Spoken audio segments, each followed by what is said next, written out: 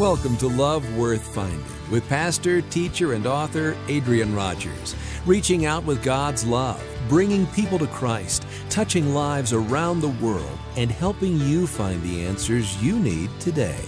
Join us as we prepare to open God's Word and discover how your life can be changed forever by His great love worth finding. Would you take God's holy word and find with me the gospel according to John and turn to chapter 6, if you will. And we'll find verse 66 in just a moment. Some time ago, I had one of the most challenging experiences of my life. I was in Moscow, uh, the capital of the former Soviet Union, and I had the opportunity to preach. And I preached in a marvelously beautiful hall. It was called the Red Army Theater. It was a theater for the performing arts. It was a place where they held operas and cultural events.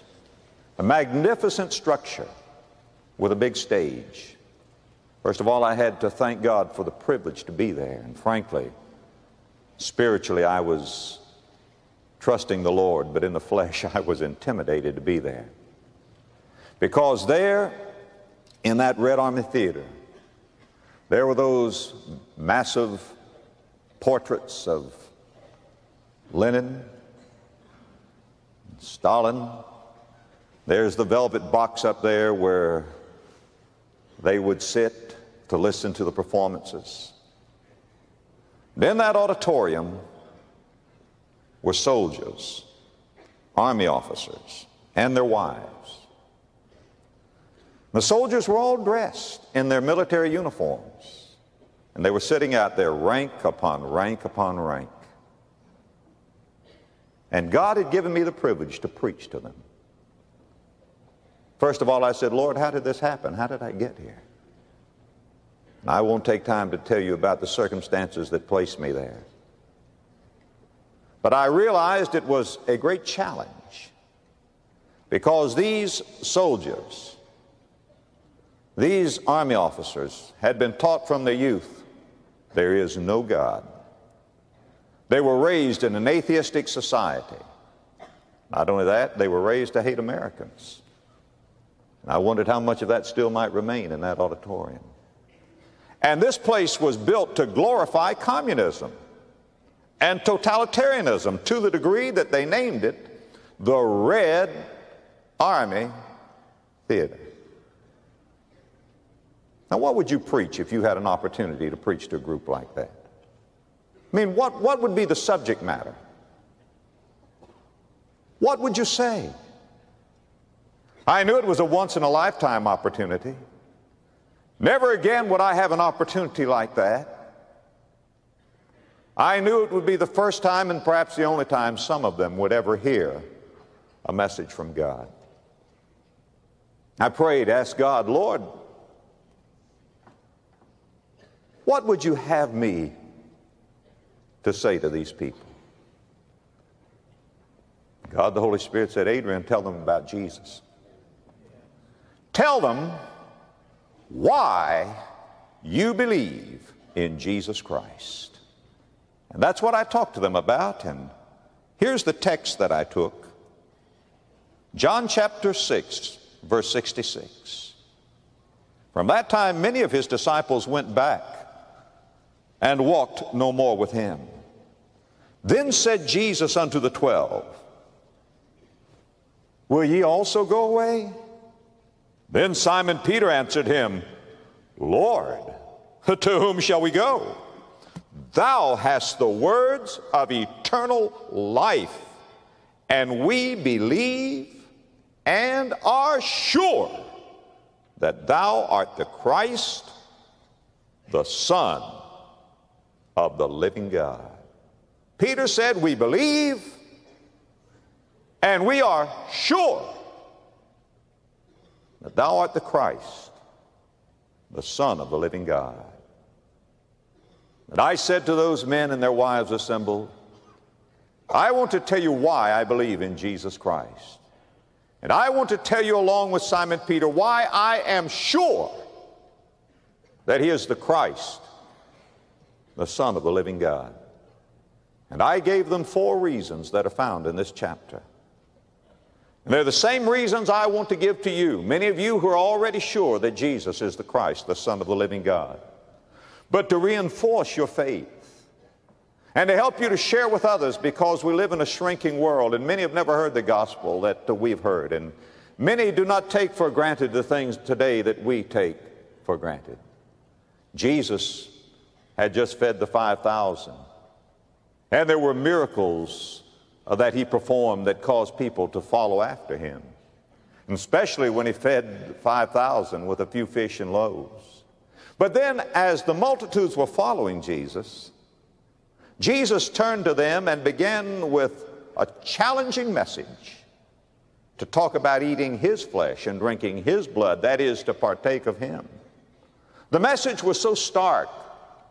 The message was so different. It was so radical that people began to leave. They were miracle mongers. They, they liked the loaves and the fish. But they did not like the deeper message that was behind that miracle, and they began to leave him. And then Jesus turned to his disciples and he said, Are you going to go away also? And Peter asked a very penetrating question. And it's the question I'm going to ask you if not Jesus, then what? If not Jesus, then who? Simon Peter said, Lord,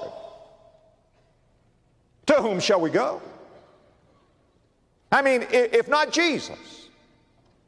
Friend, if Jesus isn't the answer, if you turn from Jesus, where are you going to go? Are you going to turn from him to atheism?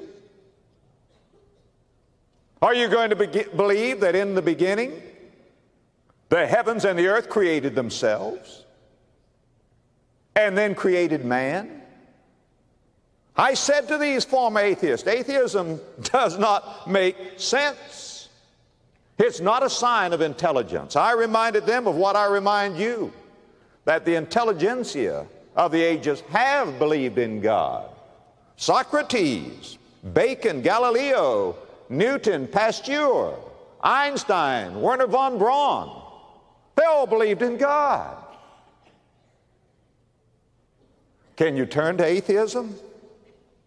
Then I asked them a question. Are you going to turn to philosophy? If you reject Jesus Christ, philosophy? A system that tells us what we already know in words we can't understand. A former pastor of this church, Dr. R.G. Lee, said philosophy is a, a chunk of cloud bank buttered with the night wind. Study the great philosophers and see if philosophy satisfied their heart. Schopenhauer, one of the greatest, said, Life is a curse of endless craving and endless unhappiness. Aldous Huxley said concerning us, he said, it seems like we're a cancer on the globe. H.G. Wells tried philosophy. And H.G. Wells said this unless there's a more abundant scheme before mankind, this scheme of space and time is a bad joke. An empty laugh braying across the mysteries. I asked those men, are you going to turn to philosophy? Then I asked this question, are you going to turn to materialism? Is that the answer? If not atheism and philosophy, is it, is it materialism? Is that where you're going to go? Do you think that things can satisfy you? I went into the mayor's office of Moscow. I went up those, that red carpet walked across those marble floors, went into that big conference room, sat down there with the leadership of the heart of Moscow, looked across the table from those men, and I said, Sirs, I want to tell you something. The Soviet Empire has dissolved as such. Communism has come crumbling down.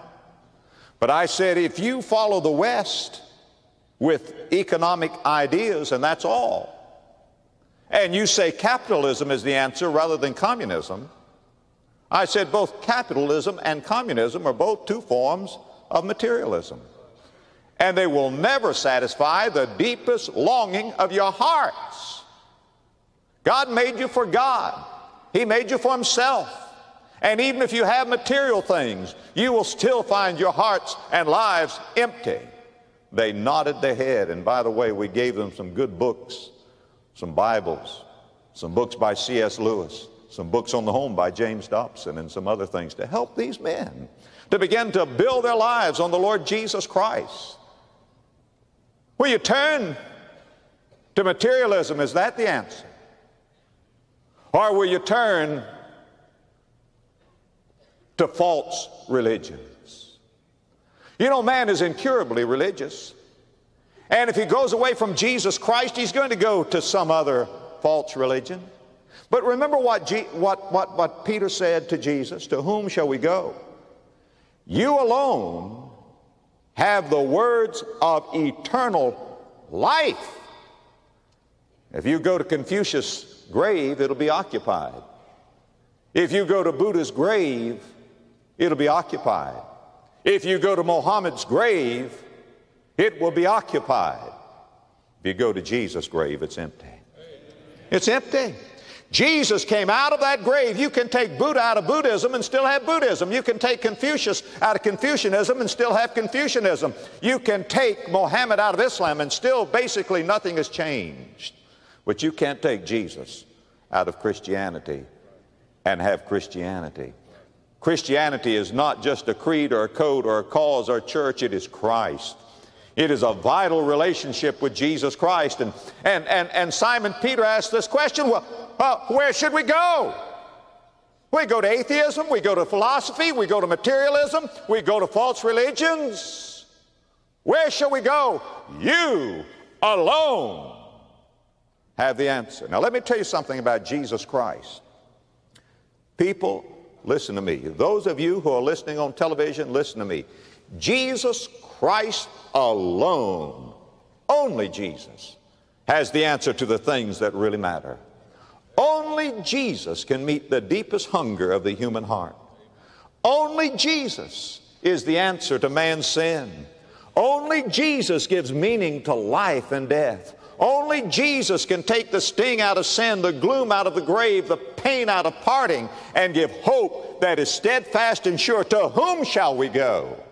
He alone has the answers of life and death. But that brings a question.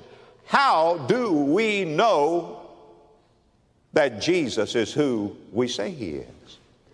Why? Why do we believe in Jesus? Why have I given my life to him? Why do I serve him? Why would I be willing to die for him if necessary?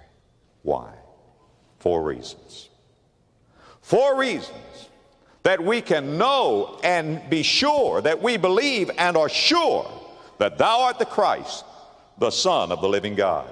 The first reason that I shared with these and I shared with you is the historical reason. Jesus Christ is a F-A-C-T fact of history.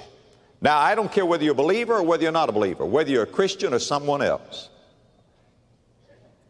You must admit, you have to admit, the man named Jesus was here upon this earth. All of the sec secular historians that have any merit at all admit the fact of Jesus Christ regardless of what they believe about him. H.G. Wells in his outline of history listed the 10 greatest men of history, and number one on the list was Jesus Christ. He's a historian. Sir G. Uh, J.G. Frazer, a historian, you certainly wouldn't call him an evangelical Christian, a born again Christian, said this, and listen to it. My theory assumes the historical reality of Jesus of Nazareth as the great religious and moral teacher who founded Christianity and was crucified at Jerusalem under the governorship of Pontius Pilate the testimony of the Gospels, confirmed by the hostile evidence of Tacitus and younger Pliny, appears amply sufficient to establish these facts to the satisfaction of unprejudiced inquirers. What's he saying? He's saying if you're a historian, you have to admit, you have to admit that the man Jesus, regardless of what else you think about him, that he was here. His birth and life splits history. Every time you uh, put your date on a check or on a letter, you're giving testimony to the fact that a man named Jesus of Nazareth was here. Regardless of what you think about him, he is a fact of history. There's no way to explain the Christian church, the fact that we're here, apart from the fact that Jesus Christ was here. And what did the early church begin to preach?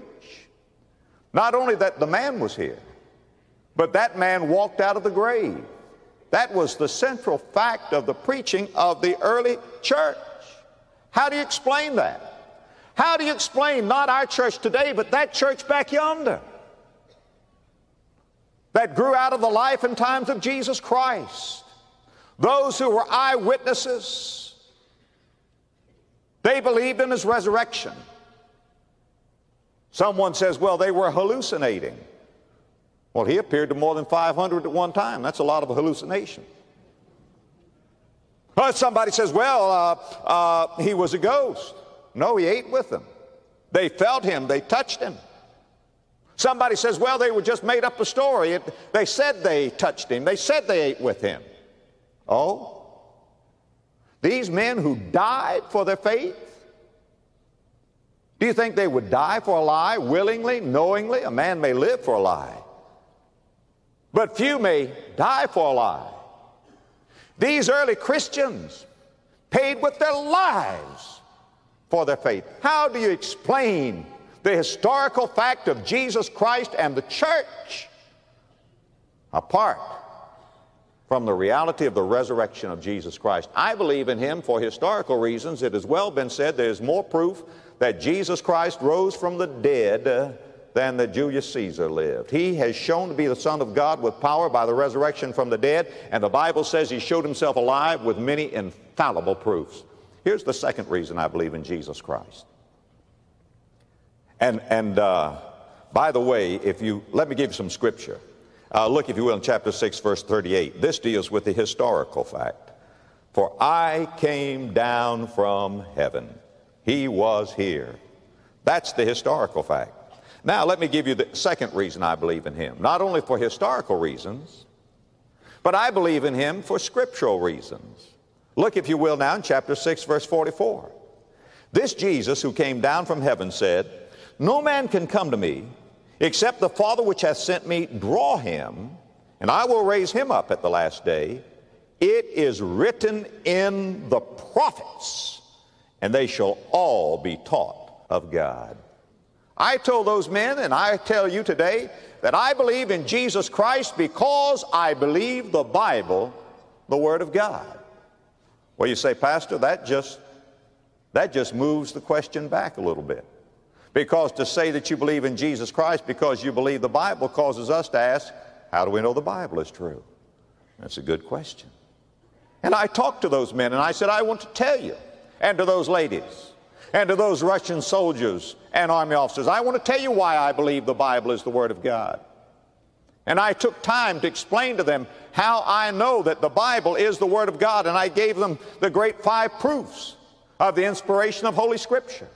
And what are they? Number one, fulfilled prophecy. Number two, the wonderful unity of the Bible, written over 1,500 years by at least 40 different authors in three different languages on all kinds of subjects. 66 books that make one book, the wonderful unity of the Bible. I talked to them about the longevity of the Bible, how the Bible has lasted through the centuries, and how, how men have made laws against it, and how even there in, in, in uh, Soviet Russia, it was a crime to bring Bibles in to Soviet Russia. And I reminded them, every one of them there, that I had a Bible for them to give them when they left, and they broke out in applause to give to them the Word of God. How do you explain the longevity, the ever living quality of the Bible? I talked to them about the accuracy of the Bible and the scientific and the historical accuracy of the Bible. Then I talked to them about the power of the Bible. Jesus said, The words that I speak unto you, they are spirit and they are life. And he said that in this sixth chapter. And I told them how the reading of God's Word had transformed my life. And I told them that we know the Bible is the Word of God. And I told them, as I tell you, the central theme of the Bible is Jesus Christ.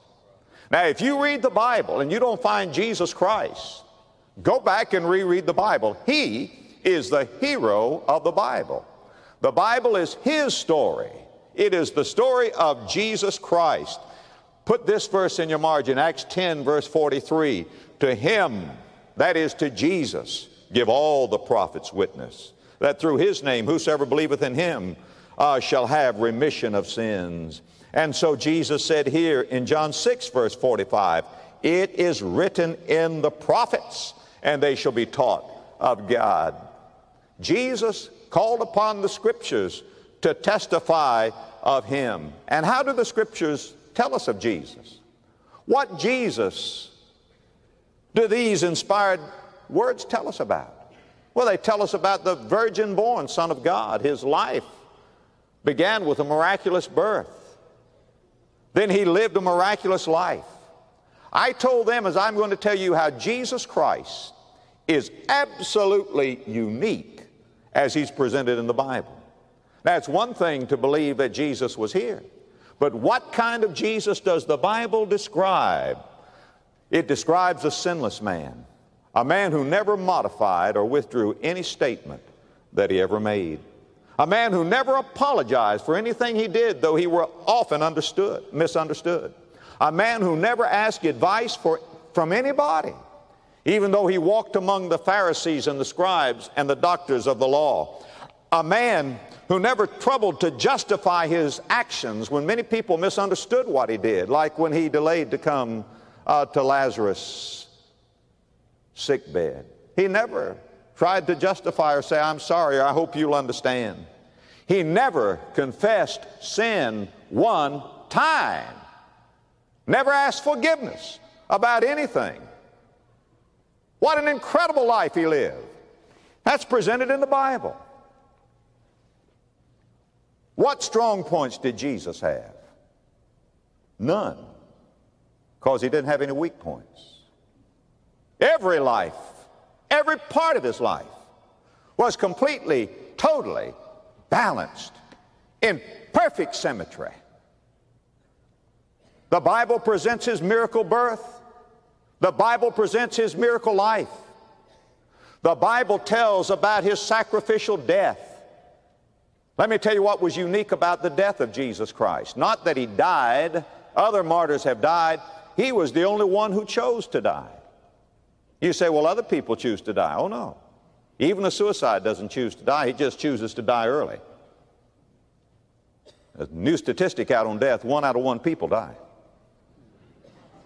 Everybody's going to die except Jesus. There was no sin in him, there was no reason for him to die. Jesus said, No man takes my life from me, I lay it down of myself. He was the only man who chose to die. The Bible presents him as the one who came out of that grave. He is the only one who has been raised from the dead. You say, now, wait a minute, Pastor. Other people came back to life. What about Lazarus? Lazarus was resuscitated to die again. Jesus was resurrected and he lives in a glorified body and has become the first fruits of all of those of us who sleep. And Jesus said he will raise us up at the last day. What I'm trying to say is, I believe in Jesus Christ because He is an historical fact. There is no way that you can explain the Church of Jesus Christ apart from the history of Jesus who lived, died, and rose again. And I believe in Him because of the Bible. The Bible, a miracle book that has stood the test of the ages, presents Jesus Christ as absolutely and totally unique.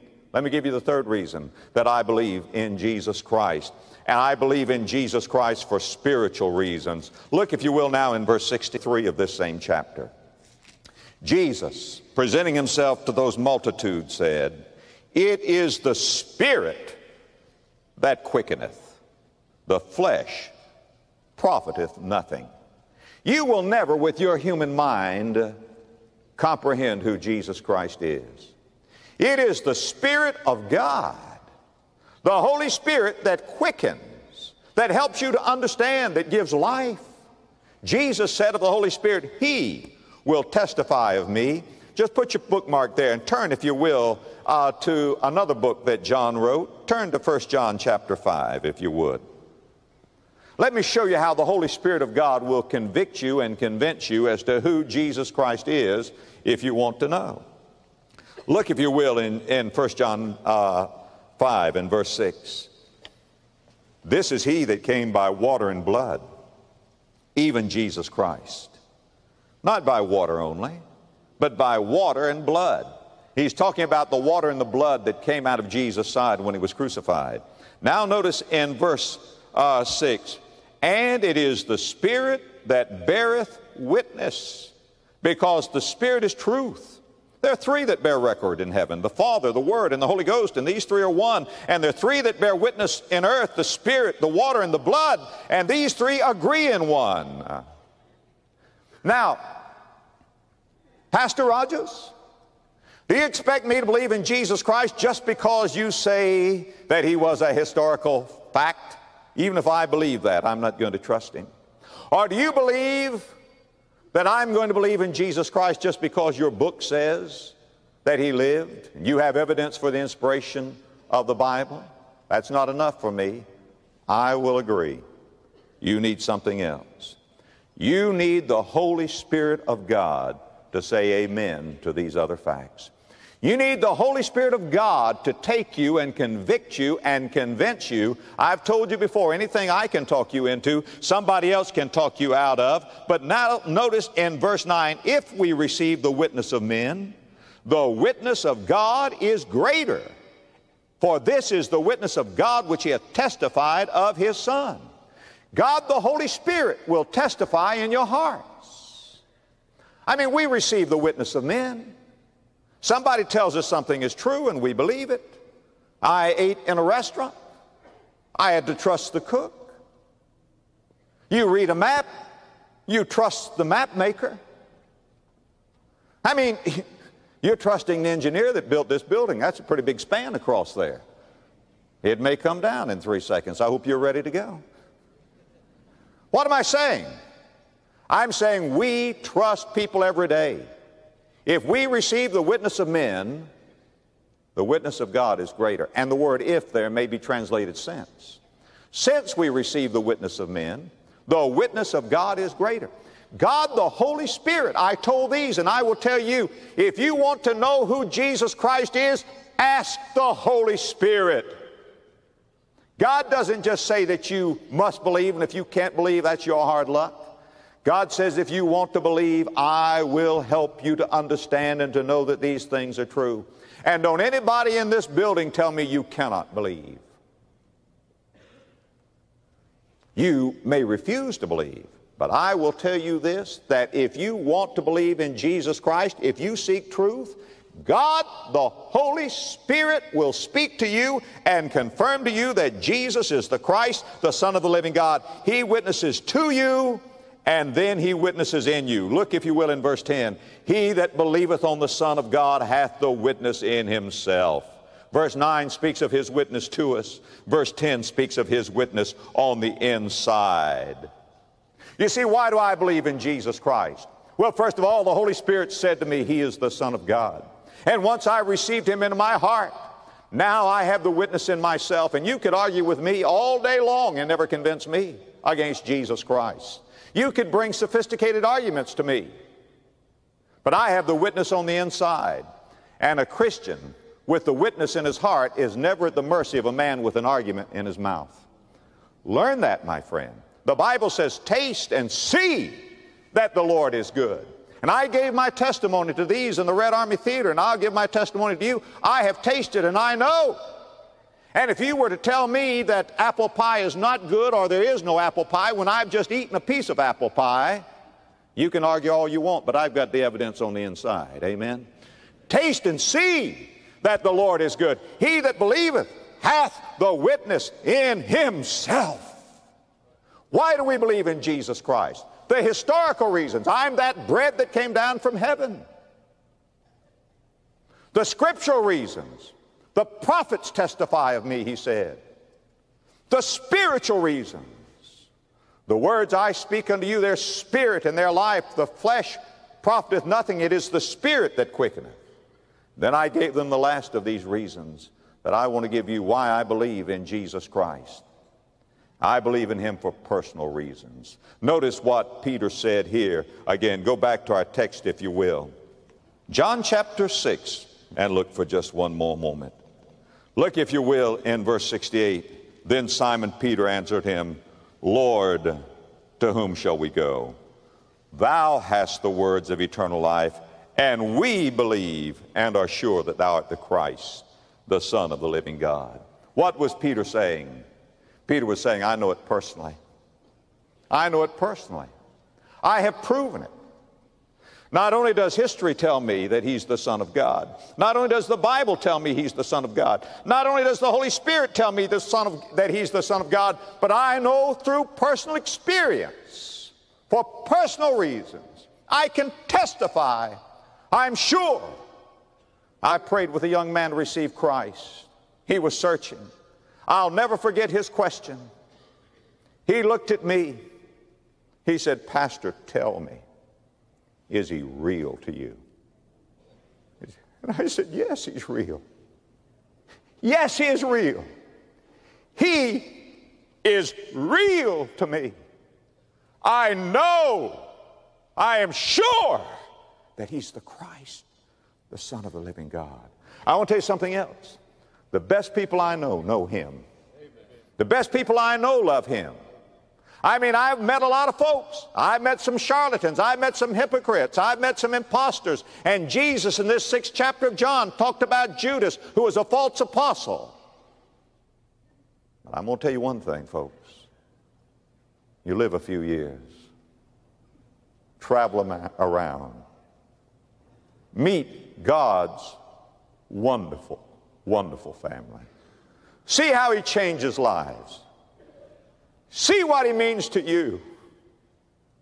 Be able to sing it, say it, and mean it. Victory in Jesus. And he does give the victory. And I said to those men what I want to say to you. This is why I believe in Jesus. And I want to ask you to believe in him. Bow your heads and pray, and they did. Then I said, if you prayed that prayer and asked Christ into your heart, would you lift up your hand? And it looked to me like more than half of those soldiers there lifted up their hand and they prayed to receive Christ as their personal Lord and Savior. And I wonder, oh precious friend today, do you know him? He alone is the answer to your heart's need. There's nowhere else to go. Where else will you go if you don't go to Jesus? No one else has the answer to your sin. No one else can fill the longing of your heart. Nobody else can give you peace that passeth understanding. Nobody else has the words of eternal life. No one else walked out of that grave, but Jesus did. And I want you to know and be sure that He's the Son of God. Would you bow your heads in prayer? And I'd like for you to pray and ask Him into your heart today. I'd like for you to trust Him and be saved today. Would you pray a prayer like this? Just bow your head and pray it out of your heart. Dear God, I need you. I want you. I need to be saved.